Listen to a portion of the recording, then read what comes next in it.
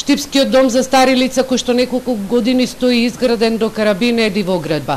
Иако јавното обвинителство го повлече обвинението за бесправна градба за инвеститорот, неговата изградба не може да продолжи. Штипскиот граначалник Благој Бочварски вели дека Сдруженијето на пензионери, кое во 2014 година почна да го гради овој дом, пред себе има комплицирана и тешка постапка за да ги извади сите одобренија за градба. Затоа според него овој објект ќе го чека новиот закон за легализација на дивоградби. На вистина е тешко во а, период кога тој објект е изграден без а, некакви одобренија.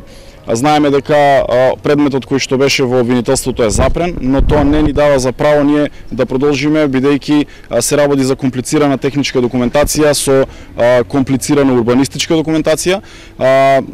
Ќе се обидеме во наредниот период при донесувањето доколку успееме новиот закон за бесправно изградени објекти да да се обидеме преку тој закон дали ќе можеме, верувам дека ќе ќе успееме да овој објект го ставиме во една прав, правна норма и рамка.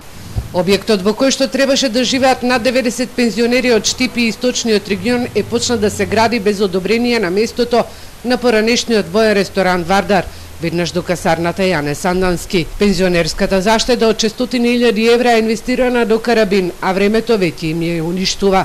И соседно Кочани е на идеја за изградба на дом за стари лица. Таму општината има готов проект и одредена локација.